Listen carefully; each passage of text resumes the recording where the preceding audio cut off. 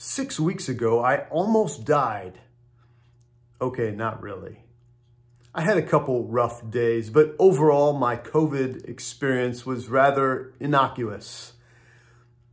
But something happened during my 10-day quarantine that changed my life. I'm not exactly sure when or why, but after those 10 days, all the hurt, fear, anger, insecurity, and selfishness was gone from my heart. And I was filled with such a genuine, pure love for God and people that I never thought was possible. Want to know more?